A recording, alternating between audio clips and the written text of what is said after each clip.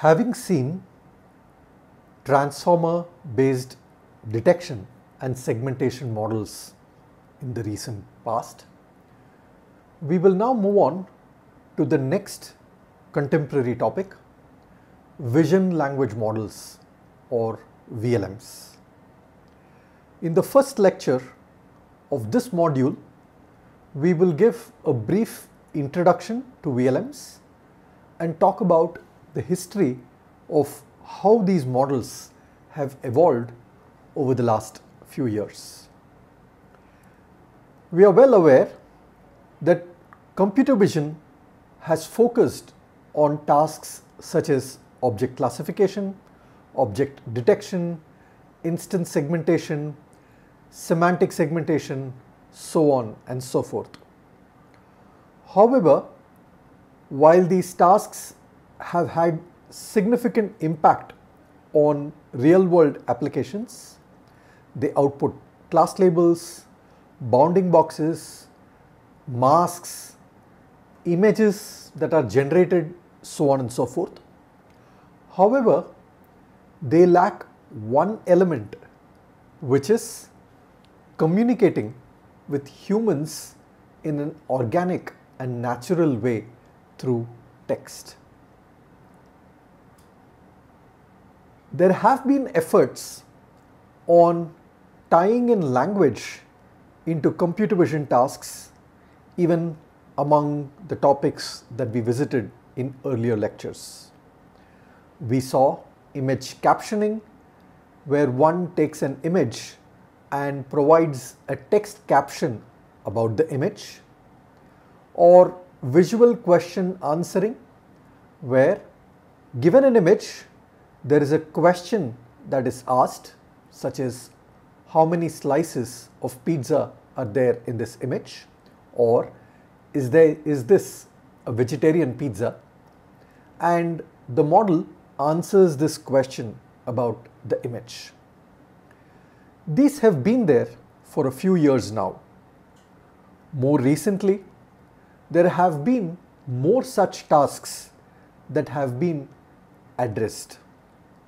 An example, text to image generation, thanks to the success of more contemporary generative models, we now have fairly good text to image generation or even text to video retrieval that has emerged in the last year or so. Seeing from the other point of view, in terms of natural language processing, the standard tasks that NLP attempts are search engines, spam filtering, machine translation, sentiment analysis and many more of such tasks. They have an inherent limitation too.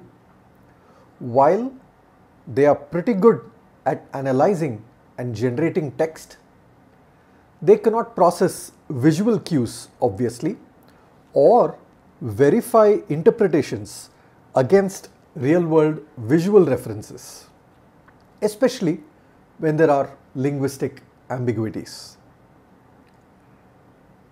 Language models began with the objective to understand and generate text. They have been largely based on the transformer architecture in the last few years. And the attempt here is to learn from raw text. These language models have morphed into large language models in the last few years or what are called as LLMs, where the key differences are that the LLMs are pre-trained on very large data sets. They typically have a very large number of parameters off late of the order of billions or hundreds of billions. And the data sets used to train LLMs are web-based text data sets such as Common Crawl, WebText2, Books1, Books2, Wikipedia and so on of which Common Crawl is the most common one that's used across different models. The most popular example of LLM is the GPT or the generative pre-trained transformer where the input at every step is a sequence of words or a sentence where the sentence begins with a BOS or a beginning of sentence token and then you have the sequence of words given as input soon after the token. And you have the target output be the same sentence shifted by one token with an end of sense token at the end. How is GPT trained? One of the key aspects of training such large language models such as GPT is learning via self-supervision.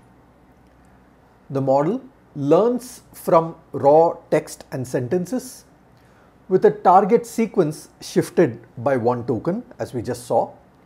This enables it to grasp word relationships for accurate output prediction.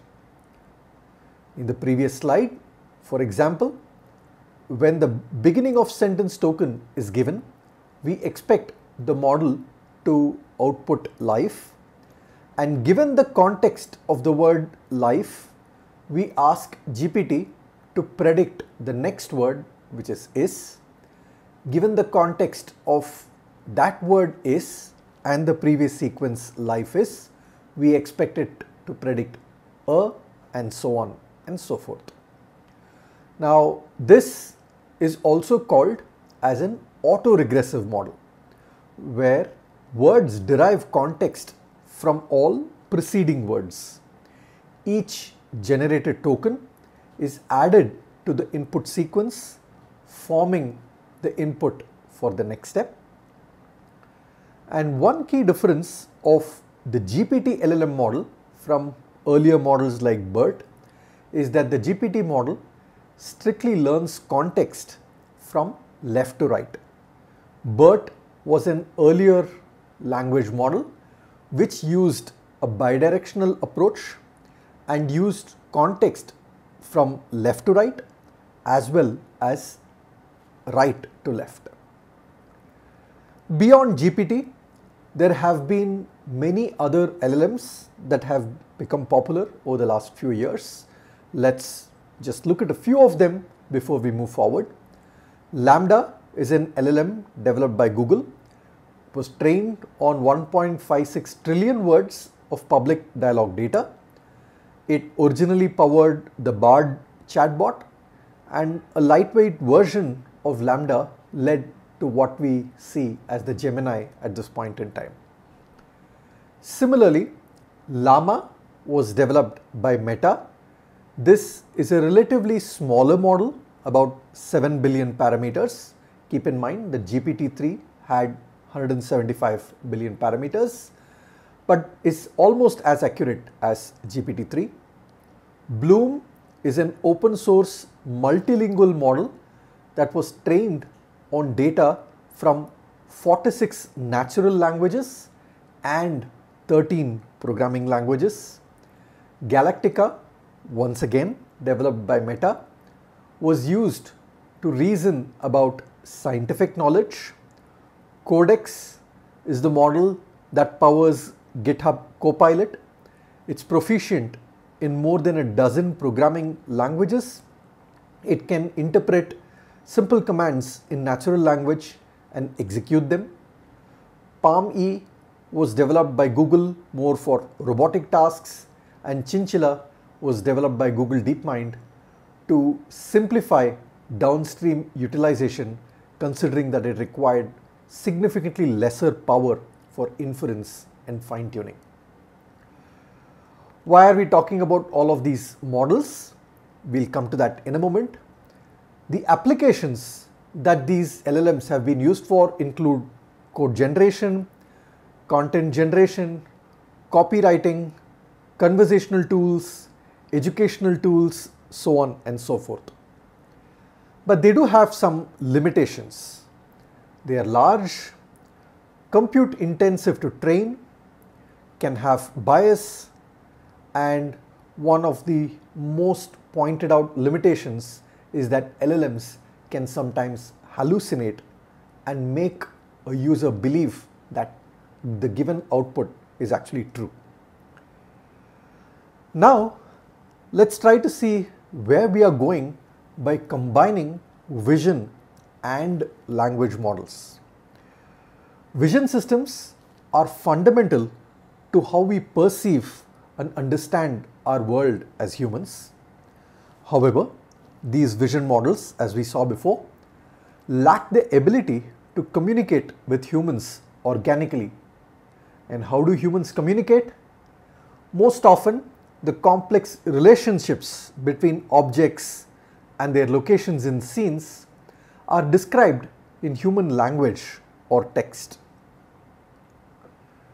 Vision language model attempt to bridge this gap between vision and language by understanding both modalities together, a capability that the human brain is really good at. The output of a VLM can be modified by providing prompts of different kinds. One could provide a bounding box as a prompt and segment an image. We already saw examples of this with grounding dino and similar models. One can have interactive dialogues by asking questions about an image or a video. Or one can even manipulate a robot's behavior through language instructions. Some of the tasks that such vision language models are capable of solving are image retrieval from natural language text, phrase grounding, performing object detection from an input image and natural text. For example, if you you want to retrieve a particular image from a cricket match, you can say a young person swings a bat and retrieve an appropriate image from and perform detection on that image to localize the batsman in that scenario. You can do visual question answering, finding answers from an input image and a question in natural language or generate a caption for a given image. One can also detect hate speech from social media content that could involve a combination of text and images. A question that one could ask at this point is these are all tasks that we've already seen with other deep learning models. So why do we need to reinvent the wheel and call a new genre of models as vision, long, vision language models that can perform the same tasks?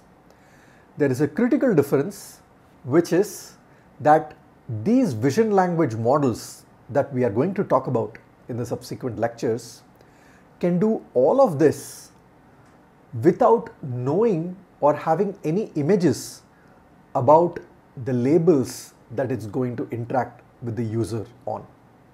So it can do many of these tasks in a zero shot manner which is significantly different from what we have seen from the past. Whatever models we saw in the past, these kinds of tasks required huge amounts of curated annotated data for supervised learning of the model.